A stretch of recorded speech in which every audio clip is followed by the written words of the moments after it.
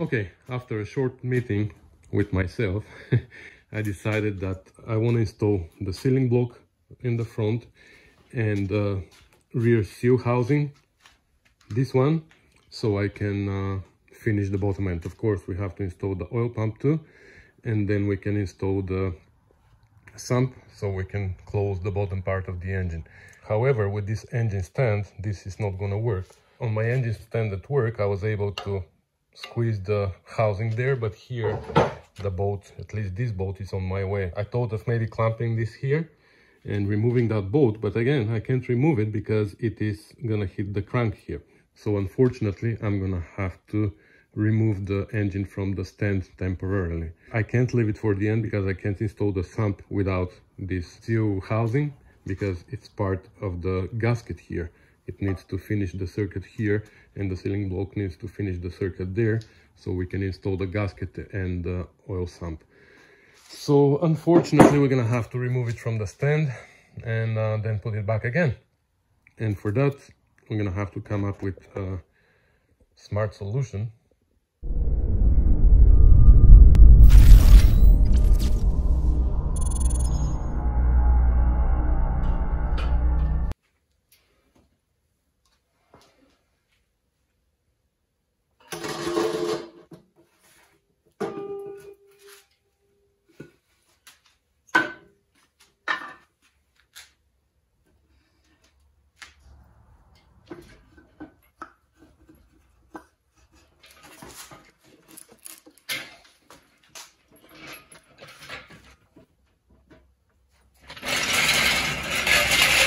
Don't judge me too bad. It's not so bad.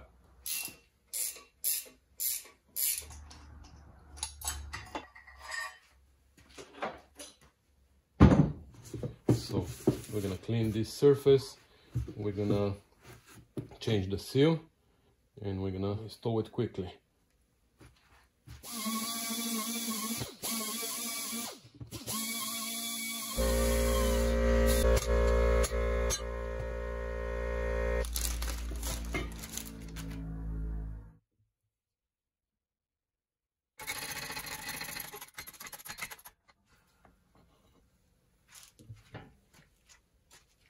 See this face? This is my disappointed face because I just realized that I have a big problem. I have the head gasket set, but somehow I don't have the bottom gasket set. And that's a big problem. And I just went through the entire order here. Nope, it wasn't delivered. So I went on the website and checked there and it turns out that the bottom end gasket sets are being back ordered but here in the invoice it didn't say that it was back ordered so so unfortunately i don't have the gasket set. So i need to source one very quickly because i need to finish this engine as soon as possible. Okay i called two places. One doesn't have it. The second one they said that they're gonna call me back soon. So fingers crossed that they're gonna have it and i need to go pick it up. It's like 50 kilometers away but i'm gonna have to drive there I have no other choice. Hopefully they have it. But you know what? While we're waiting, we're gonna check the oil pump. And this oil pump actually had a pretty good pressure, so I'm not doubting it at all. But we're gonna check it just in case. So we have the body, we have an outer rotor, and we have an inner rotor that goes inside. I'm not gonna explain how it works. I explained it many times in my previous videos and I'm sure that you guys know. So there are three measurements here that are important. One is between the body and the outer rotor. That needs to be maximum 10 thou. Between 1 and 10 thou. So I'm gonna try with 10, even though I can see already that this is there's no chance that that's gonna fit there. So I'm gonna try with 5. This is 5. Even 5 doesn't fit. So okay that's that fits well. That's 4 thou. Okay so 4 thou is good. The other measurement that we need to measure is between the outer rotor and the inner rotor in this position. So here we need to have around 4 thou. Do you see like that? Yeah. Okay so now again i have the 4 thou leaf. And that's pretty tight. Let me try with five.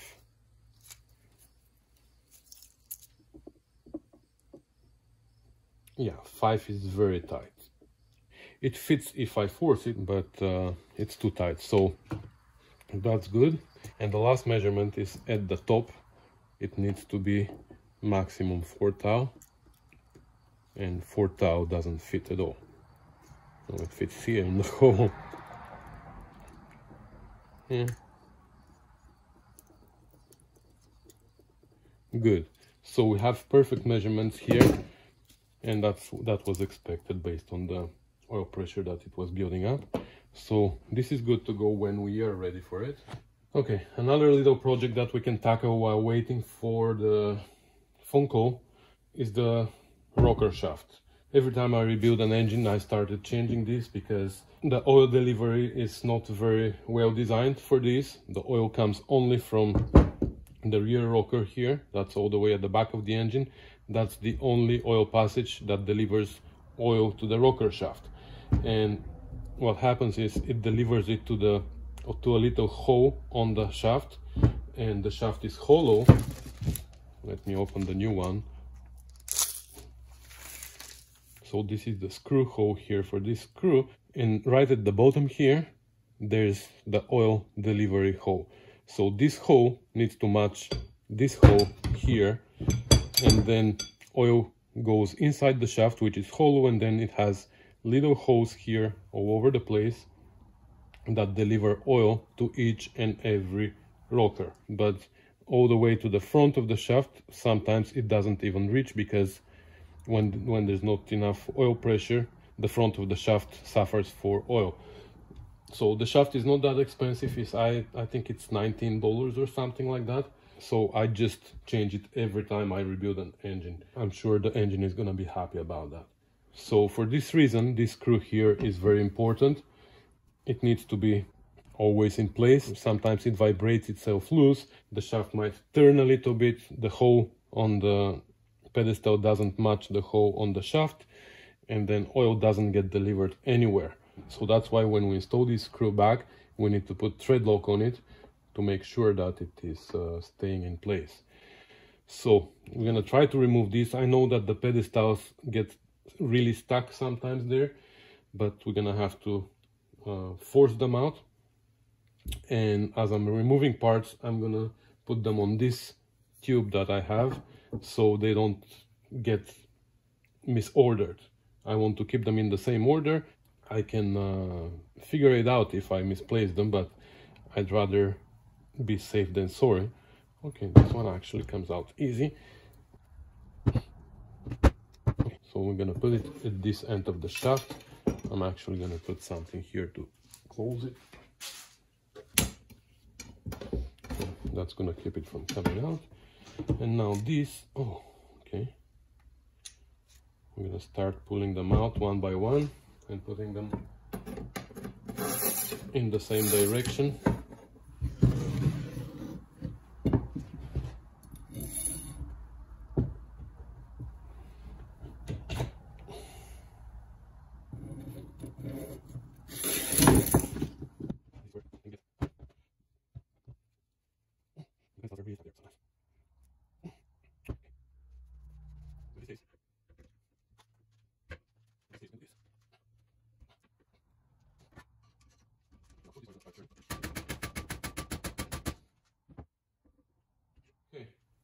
Since the other ones are turning, you know what? I'm gonna start from the other end of the shaft now. And since I'm gonna start from the other end, I'm gonna have to have another storage shaft. Here on this side we have a split pin, cotter pin. Let's see if they're gonna move this way now. Okay. It goes this way, so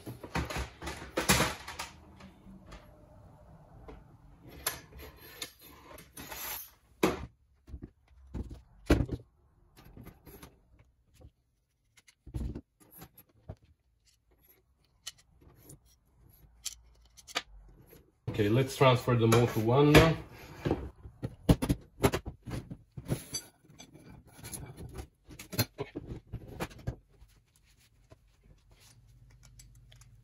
That's bad. The scoring here.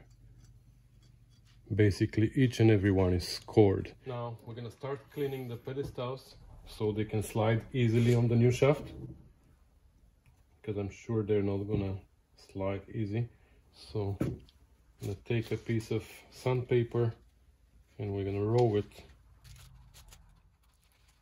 I'm gonna chuck it as a drill, drill bit.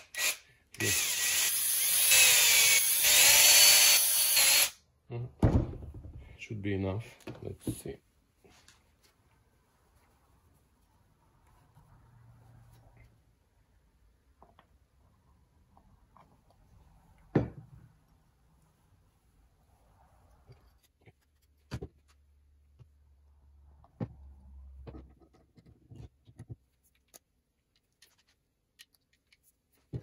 So now we match the hole. I'm gonna put the screw here just to hold it in place. But we're gonna come back and we're gonna put thread lock in it. Thread lock on the threads. Now I'm gonna lubricate the whole entire shaft.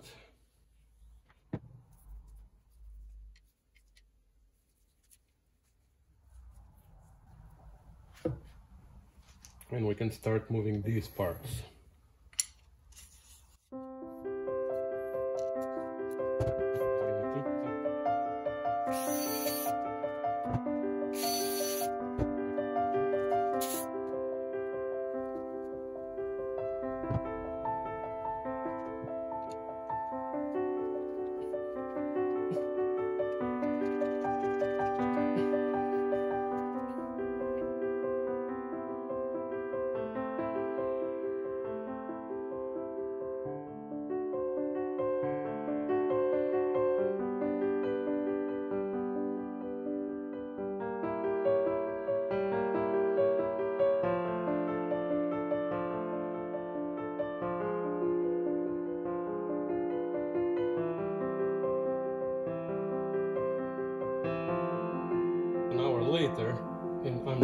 Shaft replaced and everything but I still don't have the cowl so I'm gonna just put thread lock here and I'm gonna go again. I think they forgot me.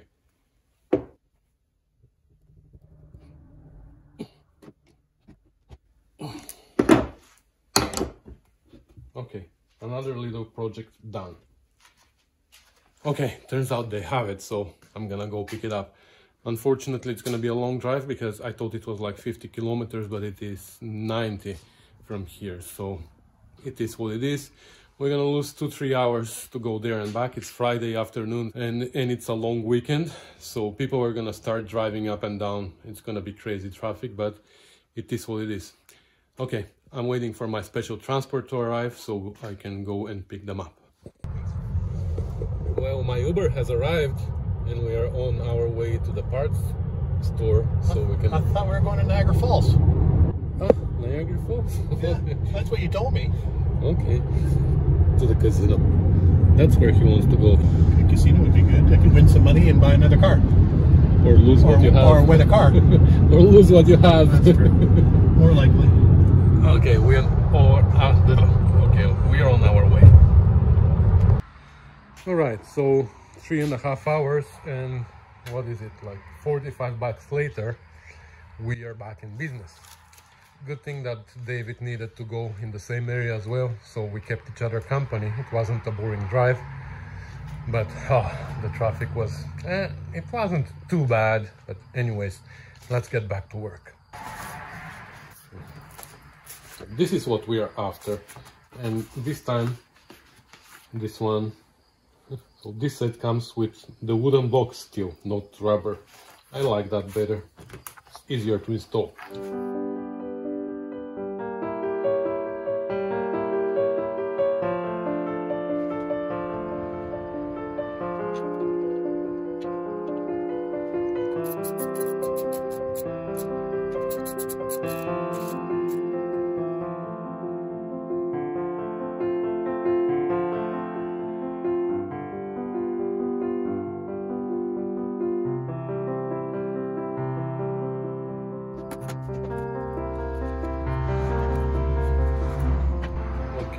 Have to match the shape of the block because if you put them this way they won't work.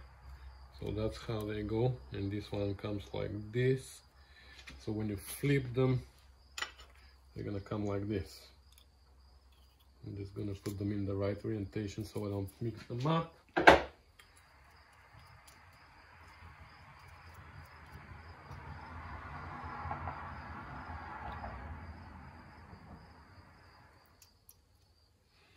I'm also gonna put gasket maker here on this side and this side.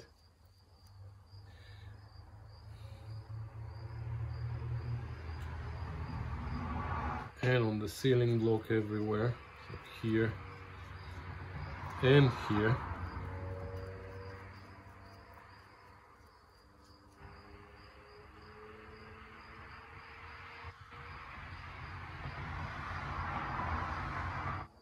and looks like these screws don't have lock washers. I just looked them up in the schematics. And I don't know why there's no washers here.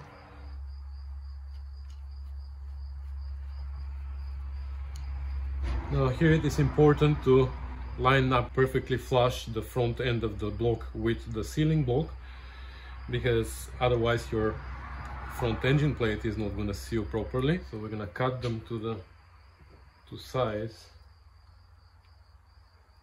somewhere there. So I gave it just a little bit of taper here at the beginning to start. And now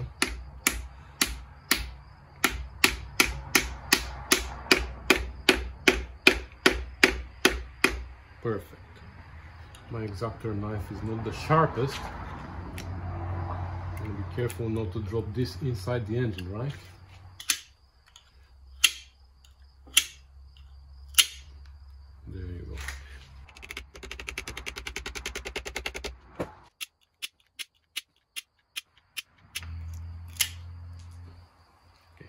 right behind you. So that's done as well. Good. Now we can actually install the oil pump and we can close the bottom end. So here on the TR4 engines and TR3 to TR2, there's a gasket. For this engine though, it doesn't come with a gasket. So I put gasket maker there just in case. Now, last time on the other engine, I forgot to put uh, assembly lube. So this time I'm gonna put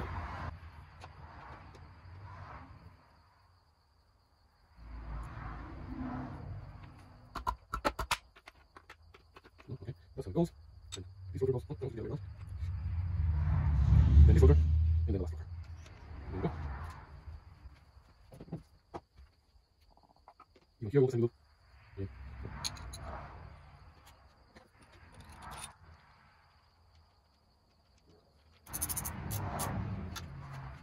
So I believe we are ready to put the gasket on and the oil sump.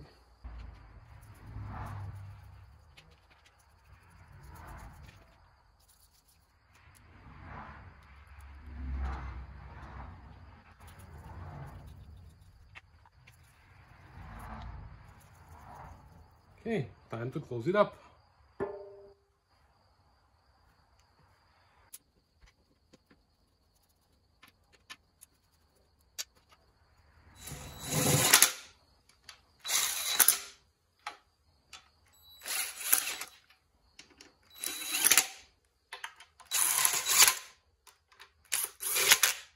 So the torque here is 20 foot-pounds and to be honest, normally here I trust my calibrated elbow, elbow but here this time I'm gonna torque them.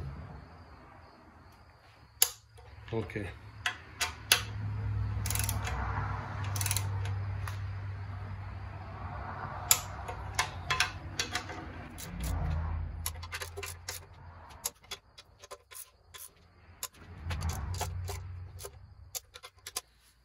and the gasket for the front engine plate again like last time if you've watched my video there's two different gaskets in the set and I don't know why but the holes don't match. So obviously there are two different blocks. I never knew that. So we're gonna find the one that we're gonna use the one that matches our block of course. Like this is the one because this one wouldn't fit see this one doesn't fit.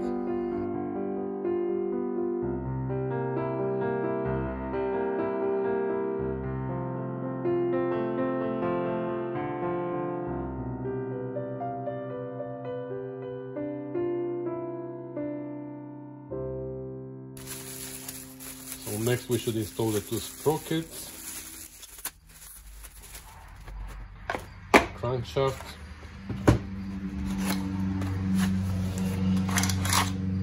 camshaft,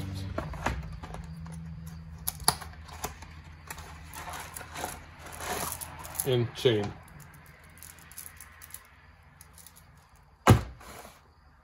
This is gonna go easy. Sometimes it goes easy, sometimes it gives me troubles. So here this sprocket has a chamfered edge and this is what goes towards the crank because here the crank is not machined square. It has a rounded edge there so that's why it has that's why the sprocket has a chamfer to make sure that it goes all the way in. Also here we have those spacers. Sometimes there's one, sometimes there's two, sometimes there's none. So I'm just gonna try it with the old spacer. We will check the alignment and if it needs more or less, we're gonna change for now i'm just gonna put it on like this we're gonna tap it gently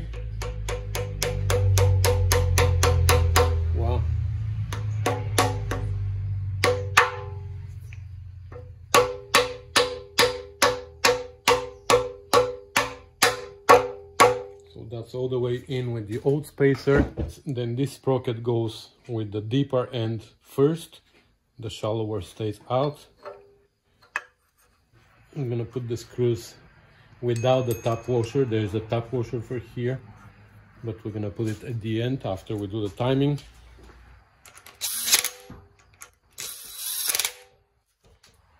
So now if we put the straight edge from this teeth to this teeth, we need to make sure that it touches everywhere. But what happens here is it is rocking. So this is the highest spot spot here. And it's rocking.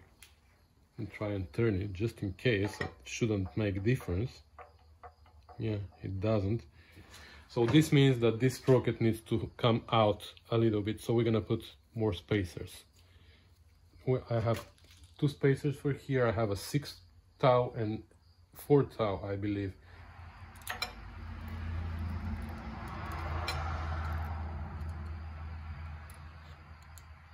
Yeah with the 4 thou spacer it's perfect. So I'm gonna pull this out and I'm gonna put the 4 thou spacer there.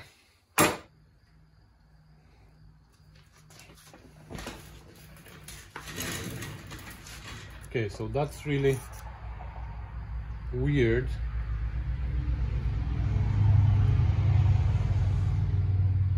Well this shim took the shape of this so but the new ones come flat so I hope that this will take also that shape because you see now it's sitting out. So let's see if that's gonna work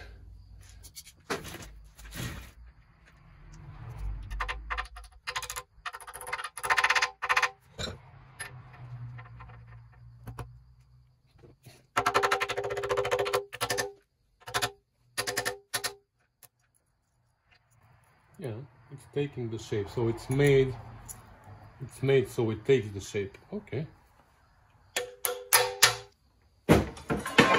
Well I can't test it now because it's springy. But we determined before that it was 4 thou that it needed so that's how we're gonna leave it. So let me install the chain and it's time for timing. It's timing time no actually we're not gonna have time for timing in this video so we're gonna leave it for the next time. So stay tuned and in the next episode we're gonna continue from here. So thanks for watching guys as usual. Thanks for commenting and subscribing and i'll see you soon. Bye